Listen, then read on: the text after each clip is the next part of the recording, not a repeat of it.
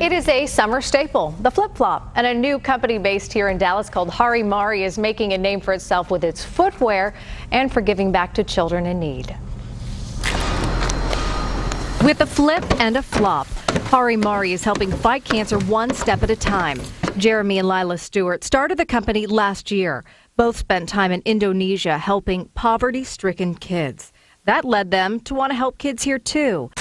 A portion of the company's sales go to little ones battling cancer at Cook Children's Hospital in Fort So Worth. actually, we give three dollars for every pair we sell to help kids with cancer. Jeremy and them really believe in the, the promise of Cook, and I think the two organizations really match, which is truly to treat kids regardless of their ability to pay for the care that they receive. And Flip flops that offer comfort for you.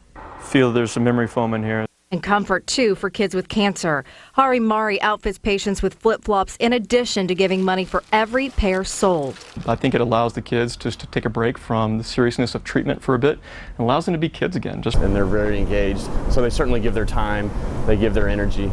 Um, they come over visit our patients. Besides helping sick children, Hari Mari helps the environment too.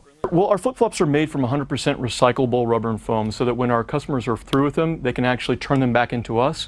We'll recycle or repurpose them. A step forward for the environment and for kids with cancer, and for a startup company that values giving back. Uh, at the end of the day, we would make a great flip flop, but if we could help kids at the same time, it'd be an even better flip flop. That was a precious face. Well, in case you're wondering about the company name, Hari is an Indonesian word for day or sun, Mari, the Latin word for water or ocean.